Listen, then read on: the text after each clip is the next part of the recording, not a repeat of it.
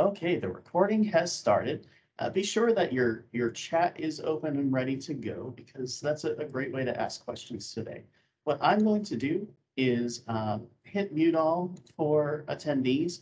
If you need to ask a question or if you want to chime in, you could totally unmute. Uh, but we're just making sure that there isn't any ambient noise going on during the meeting. Um, welcome uh, to the review for our request for proposals and of course the application process for affordable materials grants. This is for round 22. Um, this can also apply to round 23, but I believe that if we will have a round 23, which depends on a confirmed budget, which is coming a little late this year, um, then we will probably run another meeting uh, just to make sure everybody is caught up. So first of all, I'd really like for you to share who you are. Um, share your institution, your department, or Aubrey, in your case, um, your, your company. Hi. um, if it's your first time with ALG or if you're returning, and why are affordable resources or OER important to you? I'm also going to put one thing in chat real quick. This is a link to how to uh, find free and open resources if you are not familiar with OER, um, this is not the presentation that goes over all the nuts and bolts of that. Uh, it's pretty cool though. So we have a self-guided tutorial on our site that will guide you through all of that. And there's even one uh, for creating and modifying OER if you're into making some cool stuff and sharing it out with the world uh, for everyone to uh, reuse and revise and remix. Oh, Dr. Balin says from the University of West Georgia, uh, first time, uh, makes education affordable to Georgia citizens. Yes, absolutely. Um, Kendra from Georgia Southern University, uh, Department of Literature, uh, making education accessible. And that's that's a good point. When we talk about accessibility, we often talk about accessibility to those who uh, have different abilities. So um, people who are aren't sighted or are not, uh, don't have uh, great hearing capabilities. But when it comes to access, it also has to do with cost. So for sure. Um, Aubrey with Lumen Learning, welcome. I'm well to hear about the process, of course. Uh, Yvonne Fuentes, uh, University of Georgia, English, Film Languages, and Performing Arts. Uh, important to reduce costs to students and increase engagement. Uh, Laura Gosa is here from Georgia Southwestern in nursing. Uh, we are learning about the process and decreasing costs to students. Uh, Peter Fielding, hello, uh, from Kennesaw College of the Arts, interest in uh, OER to promote freely accessible materials. Um, Karen Sparrows, lecturer from UWG, first time here. Uh, we've got Dr. Holbrook from a uh, in biology at the uh, Department of Natural Sciences, College of Coastal Georgia sticker shock at outrageous textbook prices. Oh yes, especially, well, I wouldn't say especially in biology, but definitely in biology. Um, Dr. Garrido in computer science, Dr. Brown, Georgia Gwinnett College. Ah, from sponsored projects. Hello, how are you? um, at, if you're at Georgia Gwinnett College, the Office of Research and, and Sponsored Projects is super supportive of Affordable Learning Georgia and their grants. They're uh, they're really there to help you out. Dr. Solis, uh, University of West Georgia International Language and Culture, first time for ALG, about decreasing, uh, probably decreasing costs here and capturing students' interest. Uh, Dr. Wiles, Augusta University Department of Biology, first time, hello. Dr. Ionetta from Georgia Tech, uh, considering ways to bring down costs to students in writing courses, excellent. You know, I should, I should put my camera on, here we go. Yeah, Teams puts my uh, camera all the way down in the bottom corner. So sometimes I don't even know if it's on or not. Dr. Dutta, uh, Assistant Director of Writing and Composition at Georgia Tech, first time. Hello. Up, yeah, up. Dr. Connor, Associate Professor of Geography at Georgia Gwinnett, returning to ALG. Yes, hello. Uh, keep introducing yourselves. I will keep going at this point uh, to make sure that we don't have a one hour meeting full of introductions and then you go, oh no, I have a, I have a class to be at. So I'm going to go through uh, transformation grants and continuous improvement grants and just talk about what they are. Um, this won't be a huge amount of details. That stuff is on the request for proposals. Uh, the request for proposals along with all of that cool stuff is over at the round twenty-two RFP page. The RFP itself is a Word document. It's got a whole bunch of things that um, your grants offices, your business offices might need to know, as well as you and the rest of the team, your sponsors. It answers a lot of questions as to what is uh, a letter of support, that type of thing. Um, stuff that we won't have the time to go through today. So transformation grants are the first ones that we ever got started in ALG back in twenty fourteen. The idea was there are a lot of expensive textbooks out there uh, that instructors are using as required materials. Uh, often students are not uh, purchasing those textbooks as a result. Um, they often have unequal access to materials as a result of that too. So you're Uh, telling so, me, oh, I'm hitting mute all because we have an, I think an office chat that came in. Um, and also i- it's, it's especially because we are both looking at access from an accessibility standpoint and access from a cost standpoint in Georgia. If we want a more educated Georgia, that has to be for all Georgians. That can't just be for those who can afford stuff above the cost of college already. Um, for their learning materials. So transformation grants are all about replacing those very expensive materials with affordable materials. So it- they could be no cost, uh, especially open educational resources are great for this. They could be low cost. Um, they could be low cost homework solutions or uh, low cost courseware in general. Anything that's below uh, forty dollars as the cost cap. And continuous improvement grants came out of that later, and we'll talk about continuous improvement grants after. Um, just suffice to say, they are not transformation grants. Transformation grants are about transforming the materials uh, in your course from expensive commercial to affordable. Now, the funding structure for transformation grants, because this is a big, heavy lift, this is changing a lot of things that you're doing, um, not only in the resources that you're using, but in how you're taking a look at the course, making sure that everything that you're bringing in is aligned to the outcomes that you want. There's a lot of course design behind the scenes, a lot of agreement um, between all of, all of the members of a team, sometimes all the members of a department. That's a lot of work. So it is a five thousand dollar maximum award for, uh, per individual team member for salary, course release, travel, et cetera.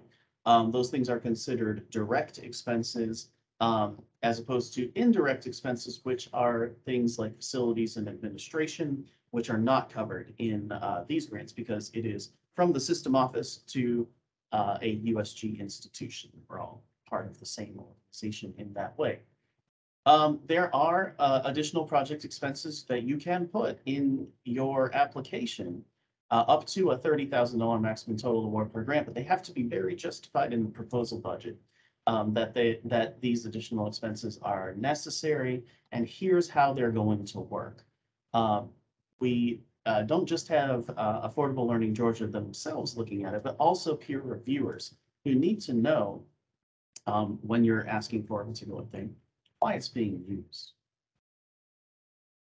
So you can, uh, you can put these into the grants, but, uh, as, as I said, there are a lot of reviewers who are going to be looking at this. They all need to know why it's necessary. So if you have something in your budget and you're like, by default, oh, well, of course we need this. Well, someone who's reading it, uh, and doesn't know your department, your team, your course, they may not understand this. So you do have to make that clear if you're adding any expenses, uh, above your usual materials, personnel, that kind of thing too.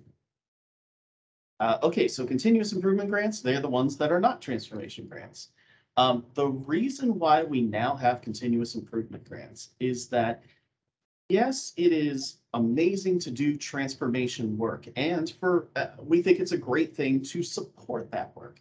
But the initial work on a project like this sometimes isn't enough. Um, you may, about four years down the line, suddenly go, wait a minute, uh, we need a really big update for this open text that we wrote. Or, uh, wouldn't it be amazing if we had an entire video collection, an open video collection to support the OER that we're using in the class? Um, what if we had an entire set of narrated lecture slides, um, and like practice questions for homework, that kind of stuff can take extra time. And that's what we're covering here is the extra time to keep your teaching with things like OER sustainable. Um, now, continuous improvement grants uh, do not support things that aren't going to be shared in some way.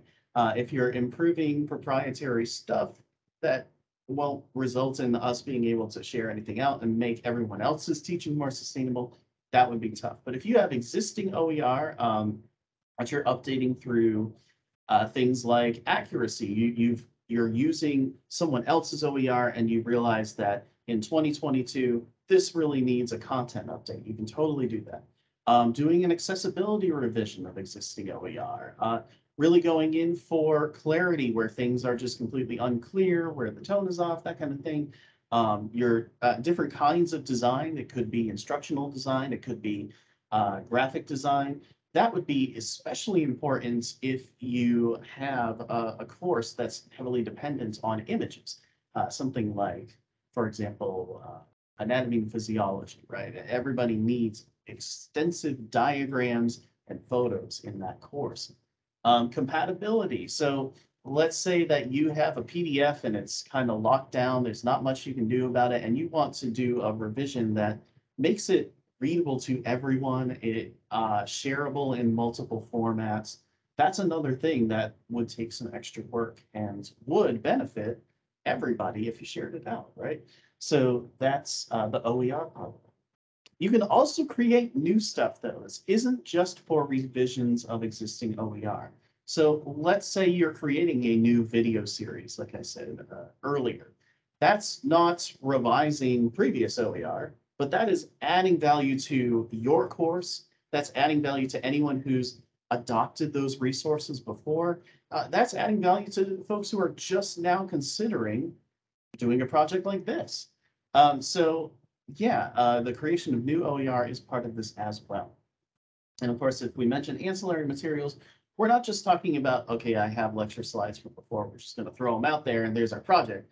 Uh, they're materials that create that are created in the project to substantially support your instruction um, when you're already using these kinds of existing open educational resources.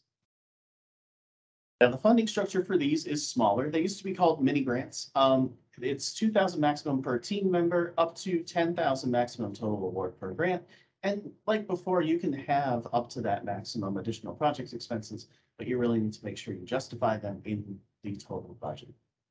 Now, there are categories um, for priority when it comes to these projects, and it's just strategic priorities that Affordable Learning Georgia has. Oh, I have a question uh, from Dr. Shannon Baker.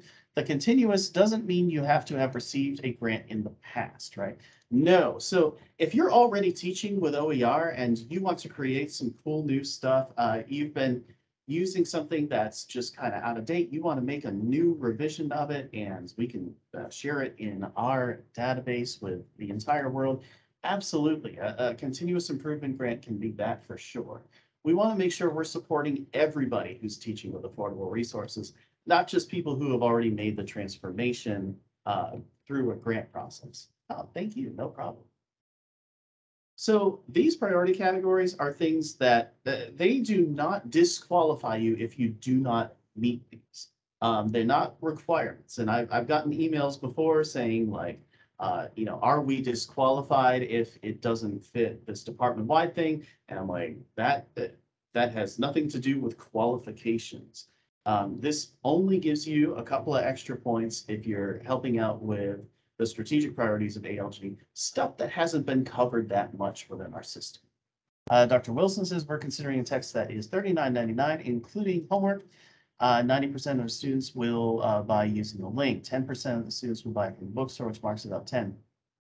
So when it comes to the low cost designation on these resources, um, you know, especially if you're going to be marking it in the catalog as low cost, as, as 40, you're going to have to make sure that it works with the bookstore because financial aid um, winds up not working out with uh, things that are not uh, going through the bookstore.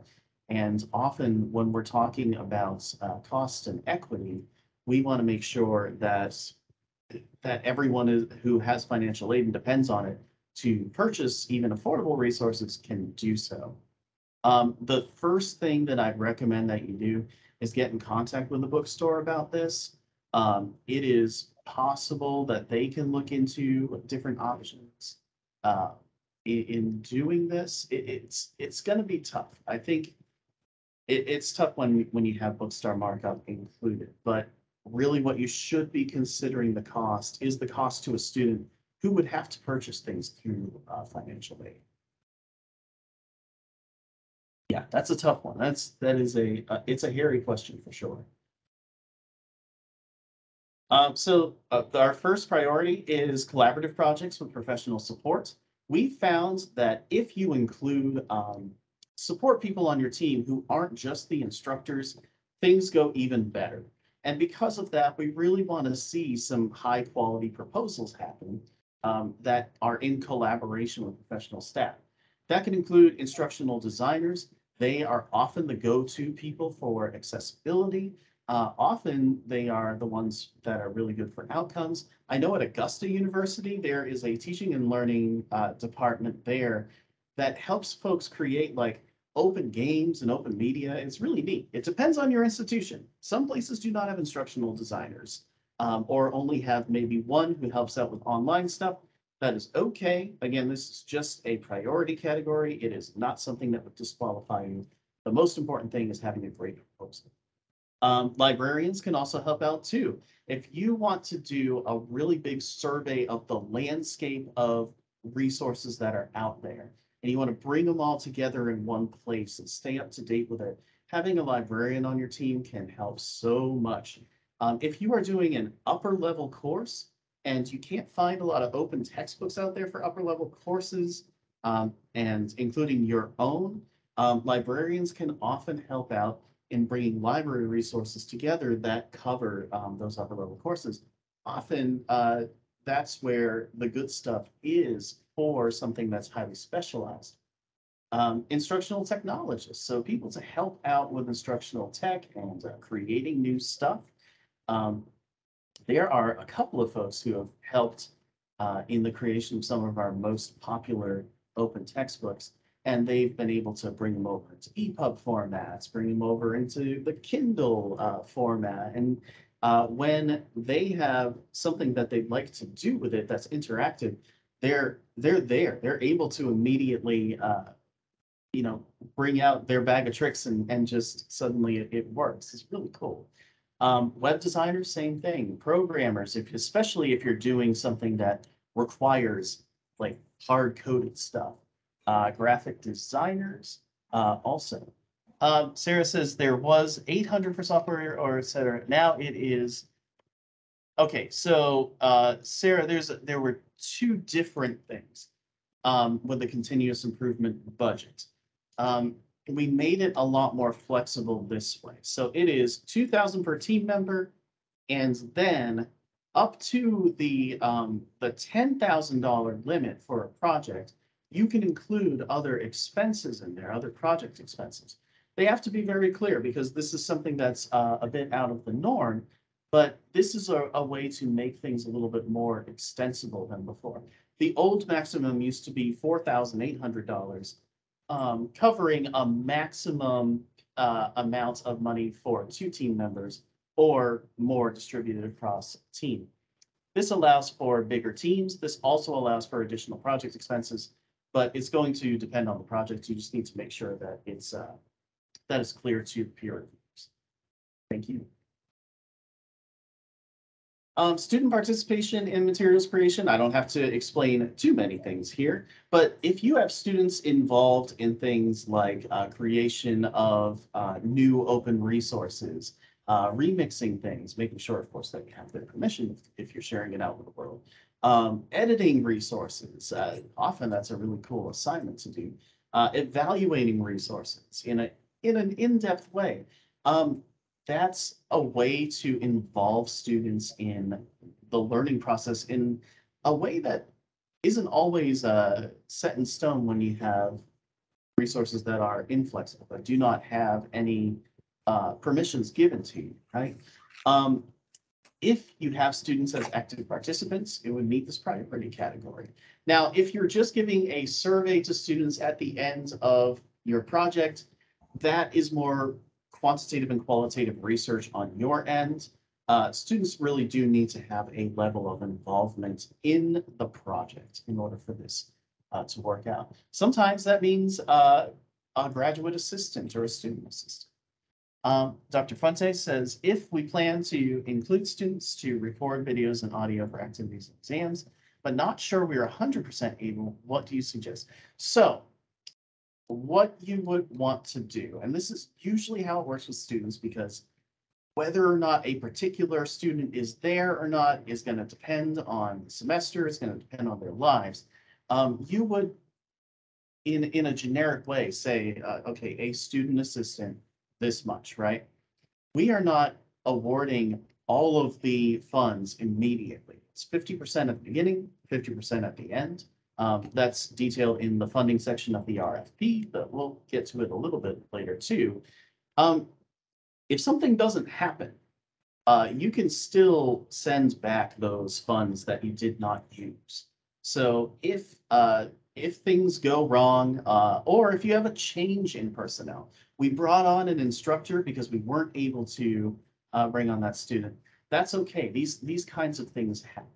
Uh, so I would say when you're going to bring a student on, uh, be generic about the role, say, you know, a grad student, a student assistant, something like that, because things change so quickly. Um, and plus, if you want um, a student assist, assistant or a grad student for multiple semesters, you might not know if you're able to have multiple people in that role on each semester or one in there. That would be a little bit different from the usual two thousand per team member maximum. You would say it's this much for a grad student for this semester, this much for a grad student for this semester. Uh, I, would- I would rather you not have names there because things change so wildly and we're flexible enough with this plan. Um, Dr. Iannetta says we're considering going OER, um, which would be free, text cost forty-three sixty-nine. The shift uh, represents a marked cut the student cost. Does this exclude us from the grant program? Uh, okay, so, um, the adoption of low-cost materials is supposed to not exceed, uh, forty dollars total per student. Uh, so that's part of the whole transformation thing. It turns into the, uh, the kind of definition of low cost that we have for the banner designators. Um, so I would check in on that and see if you have, uh, um, other resources to consider and also send me an email because sometimes, uh, folks have something that they think is just one package, but really it's like an entire text and a lab manual. If you're addressing a lab and you're addressing a textbook, those can be two different projects. It is too much of an undertaking for us to say, okay, well, you've got uh, a biology course, you're going to be replacing X biology text over here, and then you're going to be creating a new lab manual to work with the stuff that you're going to do. That is too much for a project like this. So if you have a lab, that is a different story. So it uh, opens up for a two sequence writing course. Yeah, so that's a tough one. Uh, send me an email and we'll work out the details there. Uh, we'll have to make it clear to folks who are reading it um, exactly what this impact means uh, and you know how many students are going in from that sequence. There could be a little bit of an exception there, given uh, the amounts that it's over. Yeah, just yeah, send me an email and we can we can work on that. Cool. Thank you all for the questions, by the way. I, I really like it when there are questions. If there are no questions, I get worried. Uh, okay, so the other one is departmental scaling projects. Uh, so one of the big things that uh, folks above Affordable Learning Georgia looking at it said were, well, what if an entire department went all in, said, we are going to be all OER for this course? That's really cool, um, but it is also a huge undertaking. Uh, sometimes there's buy-in uh, that you would have to gather. Uh, sometimes there's uh, agreement on particular resources, agreements on outcomes uh, through that throughout the entire department, uh, agreements on methodologies. I've talked to the psychology folks and, uh, you know, some people approach introduction to general psych from a behavioral standpoint. Others approach it from an experimental standpoint. Um, there are many different ways that it's taught, and that can be different in the department too. Uh, so it can be a huge undertaking to do this. But if you do, uh, and you've got a project uh, proposed and everyone's committed to it, uh, then yeah, you would uh, have some extra priority points there too.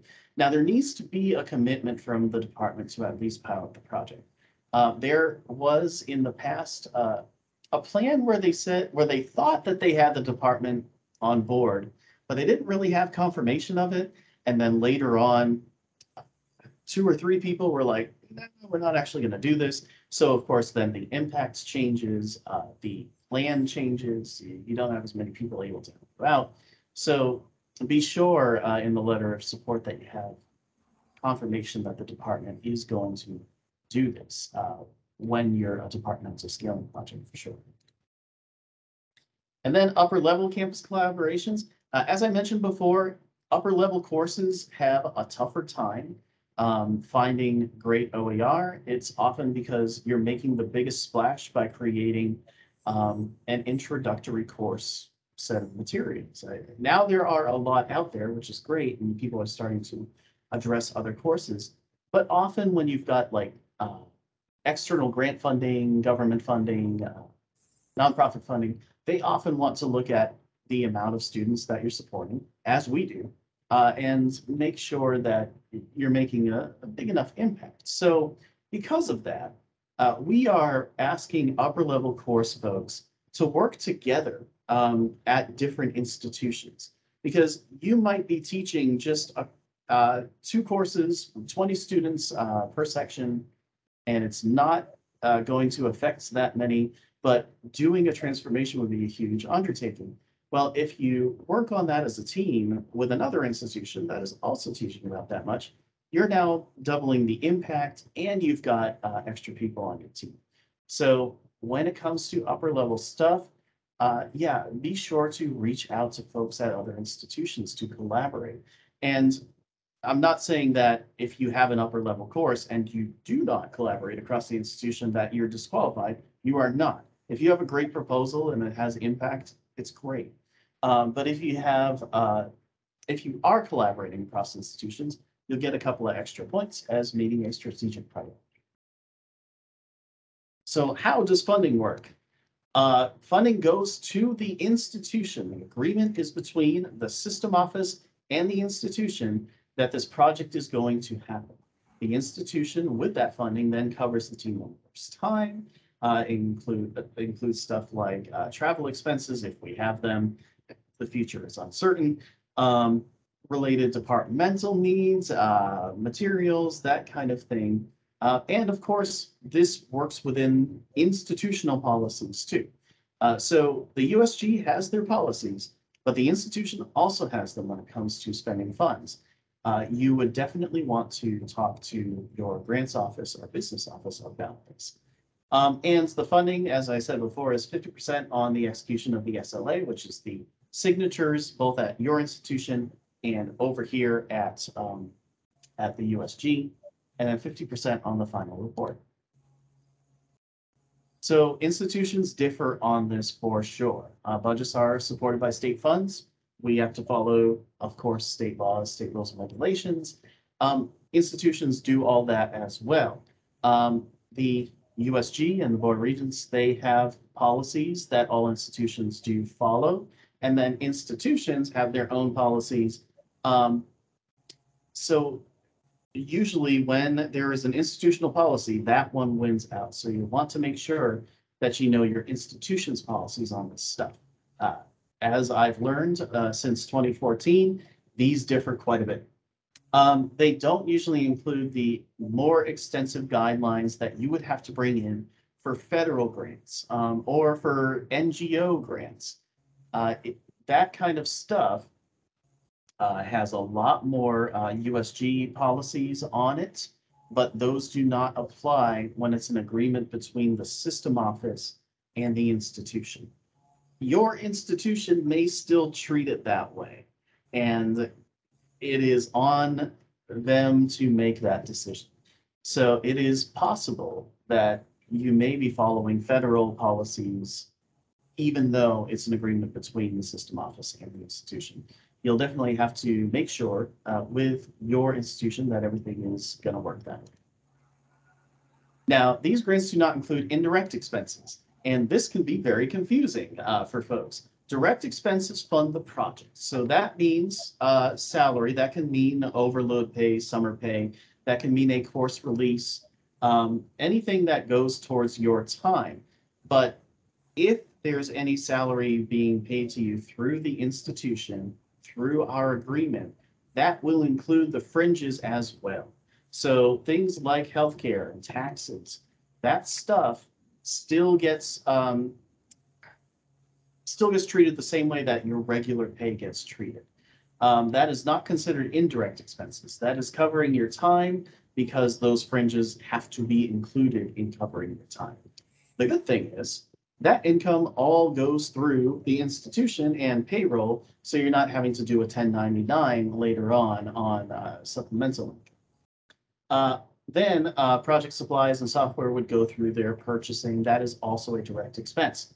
Indirect expenses are very specific. And if you've ever been on a federal grant, an NSF grant, NIH, that kind of thing, you are usually in the proposal uh, charging the funders some percentage for facilities and administration.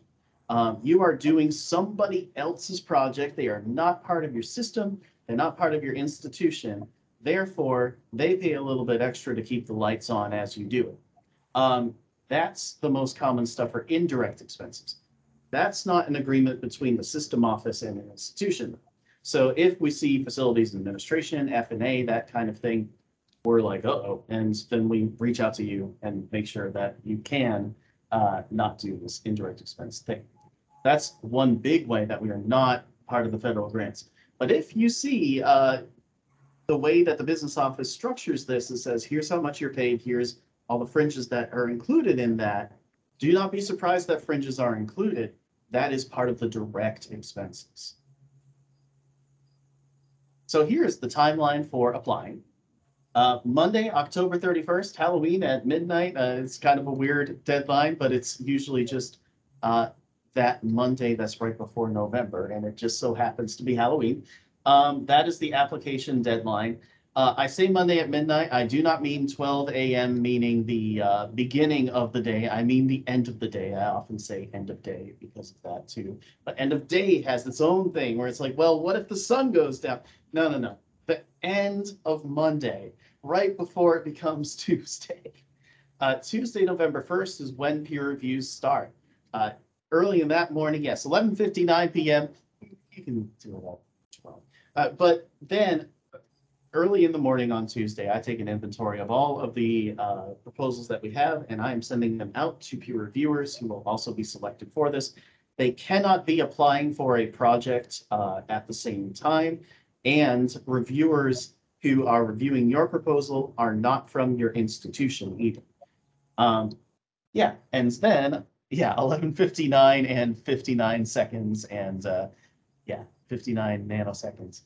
Um, November 16th through the 21st are administrative reviews. That is usually, well, uh, Tiffany was with us until July 1st. Uh, she is off on new endeavors and has a daughter. It's really cool. Her, her name's Sophia. Um, but yeah, uh, it'll be mostly me, and then I will be working with our executive director, Lucy, to make sure that um, the projects that are approved are meeting all of our guidelines, that the impact's calculated correctly. I mean, if you have 20 students and a, a $200 textbook you're replacing, you're probably not saving $400,000 a year. I have to make sure that all of that is very uh, bundled up uh, before we get started because I use that stuff for tracking and data later on. Um, notifications will be sent out on Tuesday, November 22nd, right before break, I know. Um, but we needed a, a good time to send it out uh, right before uh, all of that happens. Uh, Friday, December 9th is the online kickoff. We've blocked off 1 to 4 p.m. Sometimes it goes exactly that long. There are a lot of interesting in-depth questions and discussions that might happen. Um, but also it could end early. We never really know. Um, this is the online portion of it. There's also an asynchronous portion where you're you're doing a little bit of training on what are open educational resources, um, what is this program, what are our grants, how do they work, just to make sure that everybody's on the same page. The online part of it that's synchronous for us, this kickoff on December 9th, that's for us to all get to know each other and for me to talk about the service level agreement process, the SLA process, um, the contract, uh, just to make sure that you're all ready for the paperwork that's about to happen.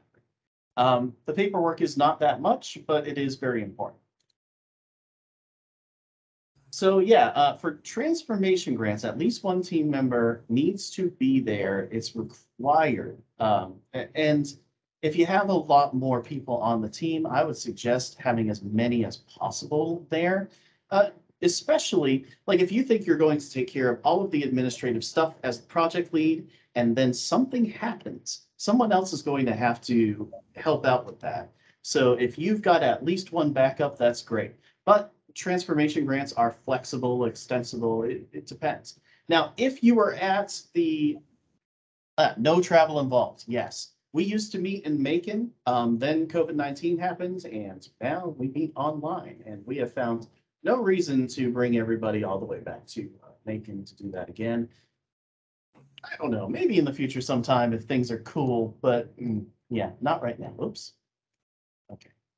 And continuous improvement grants, uh, it is optional to participate in the meeting, but it's recommended. You have to still participate in the asynchronous training. Um, and you still have to be up on how to do a service level agreement. Now, if you were, uh, if you were in one of our last rounds last year, and you went through this process, you don't have to then attend the kickoff meeting again. Uh, it will be a review for you. If you would like to be there, that's fine. Uh, but just let me know if you uh, want to be exempt from that because you've attended in like the last round or something like that. That's okay. So we're about to run through how to apply for the grades. Before that happens, do we have any more questions?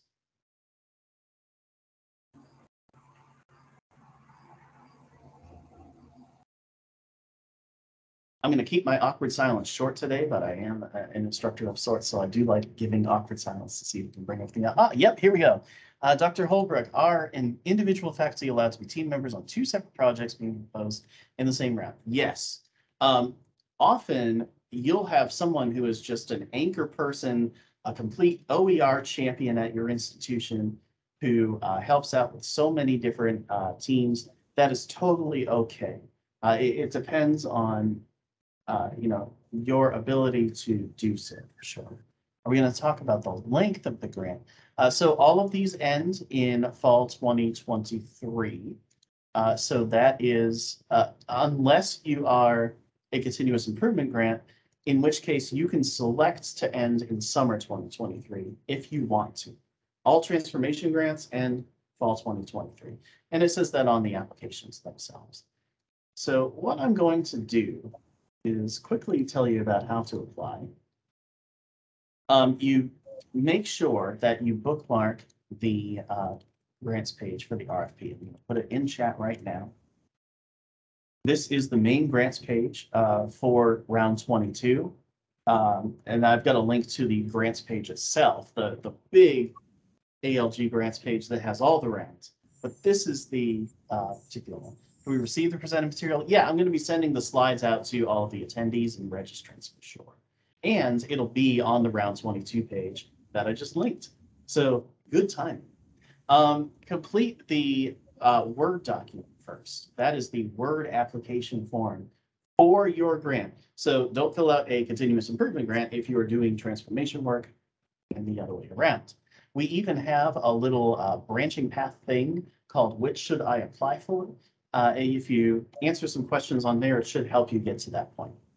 Dr. Wiles says our funds for salary applied in addition to, uh, to normal faculty salary or faculty required to take course release.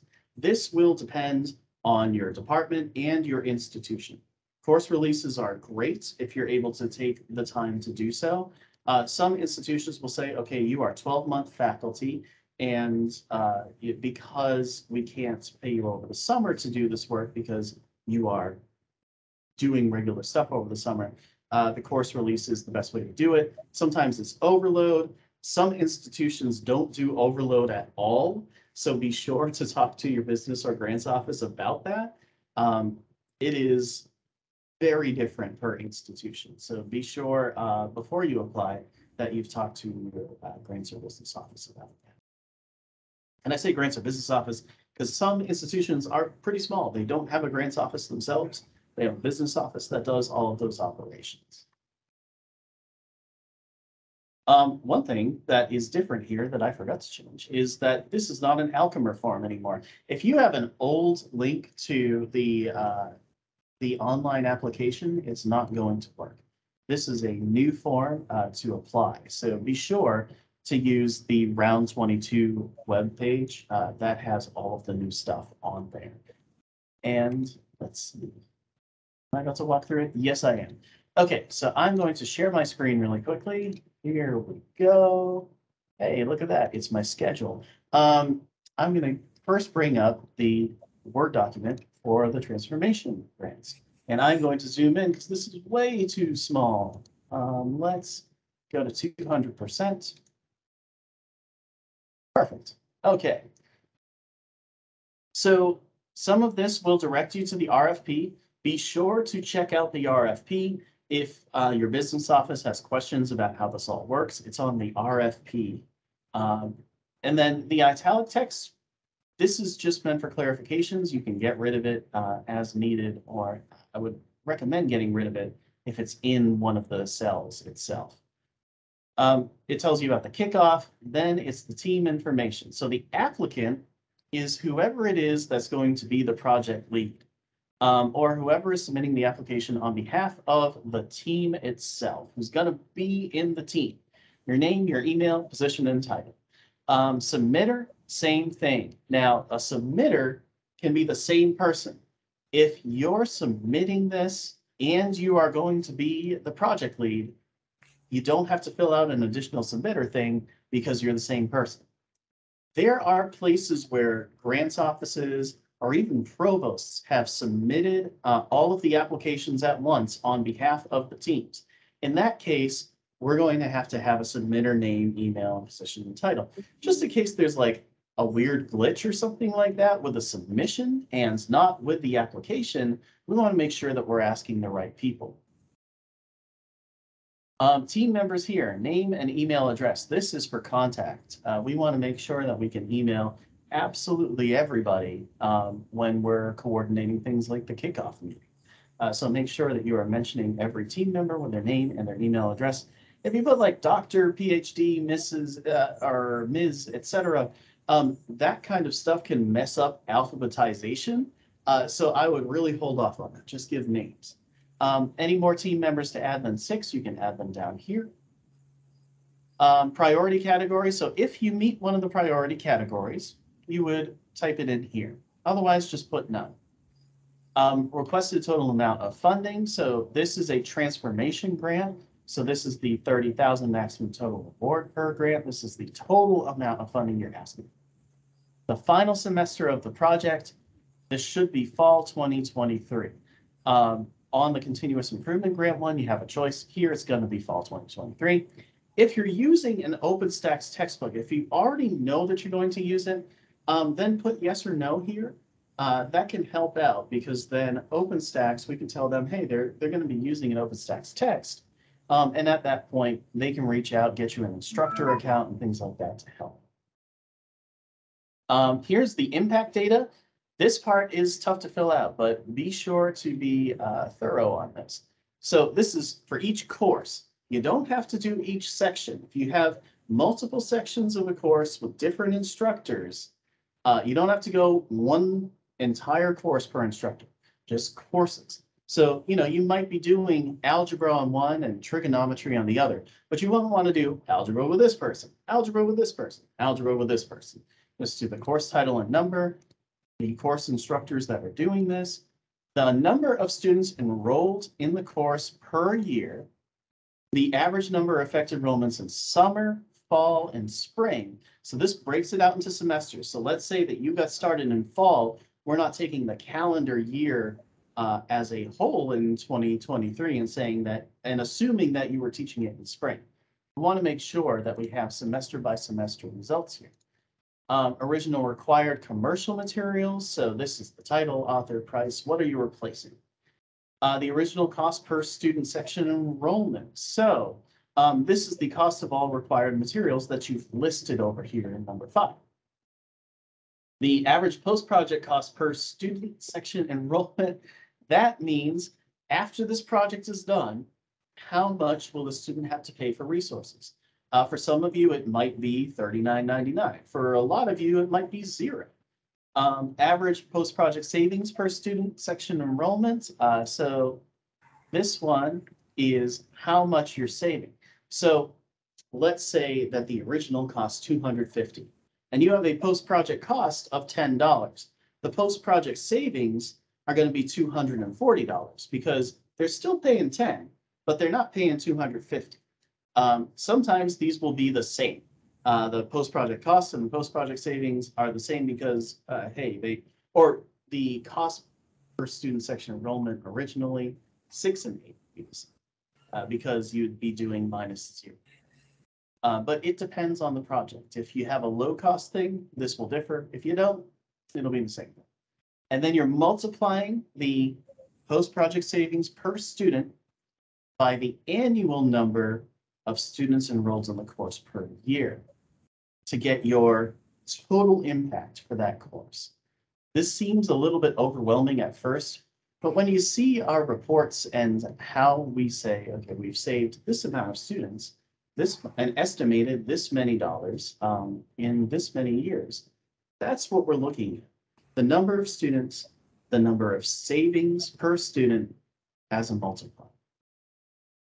Now, these averages, you don't want to give a range. If it's something like two ten to two sixty, uh, give an average cost for all of the different sections that you're addressing. Um, if we go too deep into this, we won't be able to do any calculations. It'll just be this big branching path and we're just gonna not be able to do anything about it. Uh, we work with averages on that. So you do that. We have plenty of space for courses here. Um, if you have more than four of them that you're addressing, you just copy this whole table, paste it in. Uh, we even say that right here.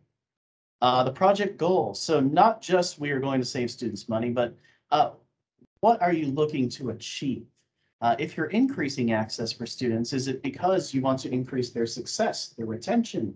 Uh, you want to transform pedagogy? This is the cool place to put that stuff.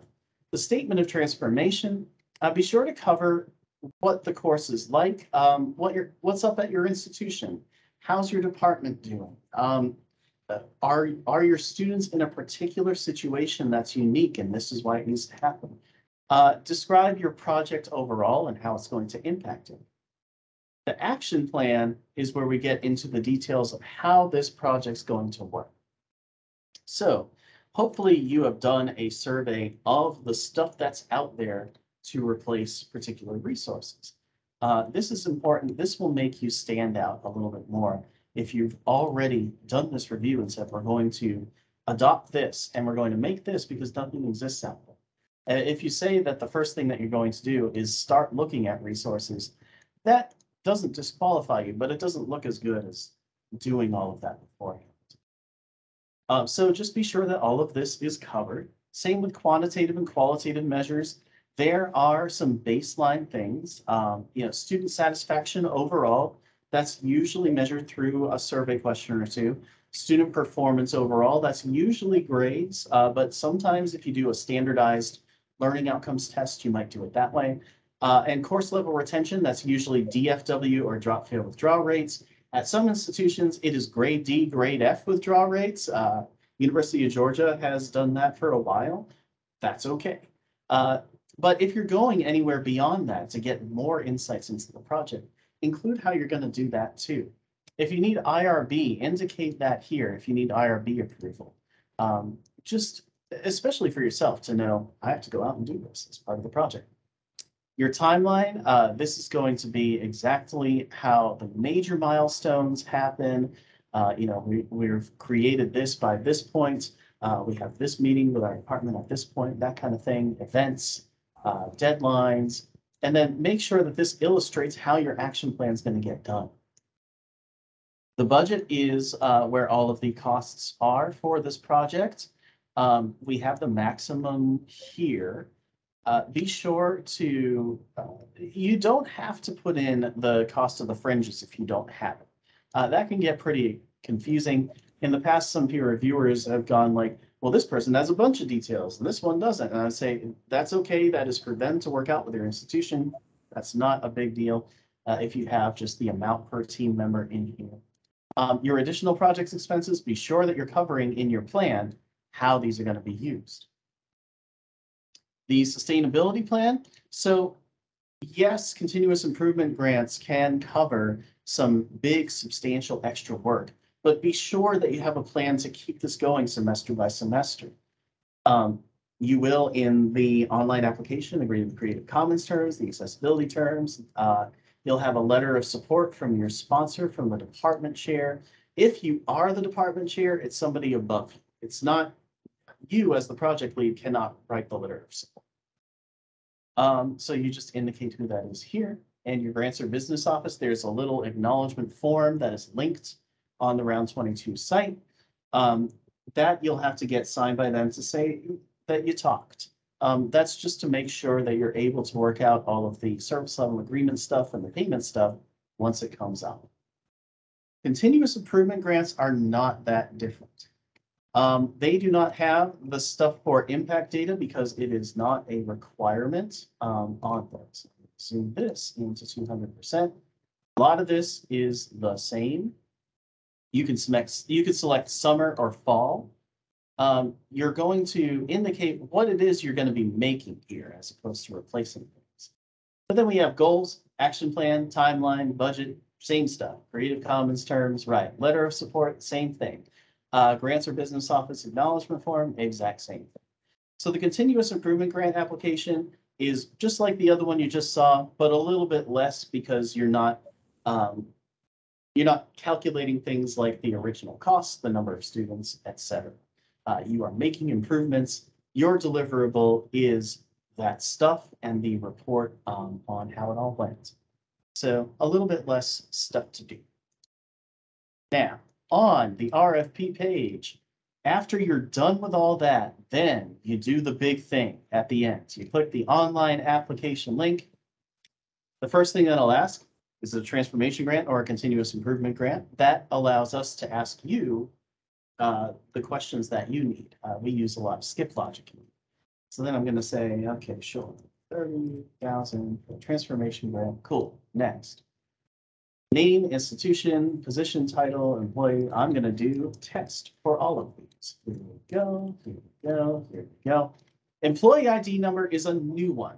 And this is because you might have your name right now, but you may not have the same name in three years. And if we're going in to see if you're still uh, teaching with low cost materials in the data that gets shared by the USG to everybody, you know, like here's all the course sections, here's um, exactly uh, how many students are enrolled, that kind of thing. The research and policy analysis folks um, are able to match that up uh, later on. So if you ever have a name change, um, that doesn't affect it.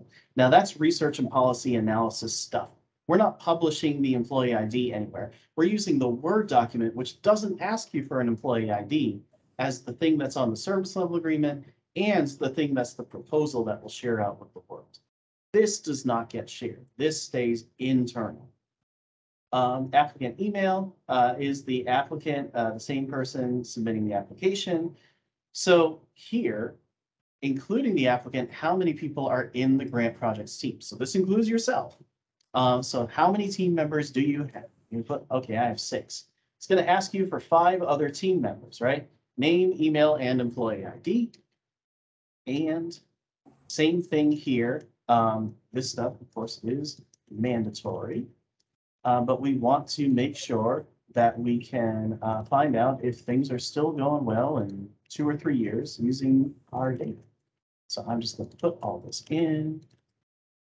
Why did I put five? My goodness, now I have to do all of this. Here we go. All right, next. Oh, enter a valid email address. Okay. There we go. Or test.com over here is going to some email addresses. I'm gonna have to fix this. Yep. I will have to fix something here. Absolutely. It is giving me an email address form. All right. This is going to be an employee ID number with an open spot. Yes. All these email addresses. There we go. Now in here, uh, you put the course number. So I'll say uh, kinesiology one thousand one, course title kinesiology. Students per summer, uh, we teach fifty of them per summer, three hundred per fall, four hundred per spring. Total students per year is, uh, I don't remember what I just typed in, so hopefully that's correct. Uh, savings per student, two hundred forty dollars. I am not making a multiplier at the moment. There we go. Uh, I'm gonna hit next, but that's what you have to put in there. This really helps us with the tracking. Um, are you planning on creating any? Uh, yes, I am. Are you planning on remixing it? Uh, yeah, sure. OpenStax, kinesiology. I don't even think they have one, but I'm just gonna put that in. Yep, okay, I meet that priority category. Then you upload the Word document, your letter of support, and your business at grants office acknowledgement. Then you hit next. After that, uh, you're going to get an email address with a copy of your application. Um, we'll get your application over here and you are all done. So that is the entire form. Um, demoing it is weird and sometimes I find out bugs that way. So don't apply today. I'm gonna fix something on there today. Uh, but after that, it'll be good. And here I am filming ourselves. This is Inception. Hello, everybody. Uh, I am going to then stop sharing my screen. Share back out this meeting. Yes, yes, preparing slides. I know. Here we go. Pardon the quick scrolling.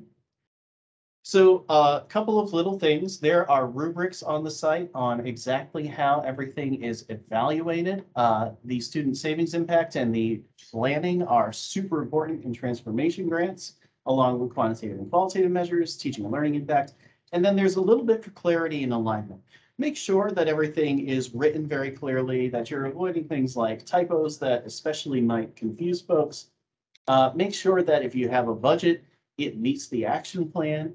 Uh, there's nobody, uh, in your budget who isn't in your plan. That would be kind of weird. Uh, that type of stuff. Same thing with continuous improvement grants. There's only one peer reviewer per continuous improvement grant.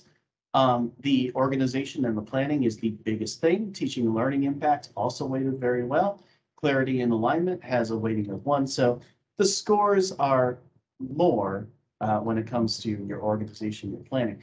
Basically, a- and these are, any of these rubric categories are higher than the amount that you would have to meet a priority. So just be sure that you are uh, creating a well-organized, well-planned, feasible plan, first and foremost, that has some impact. That's what these rubrics are especially all about.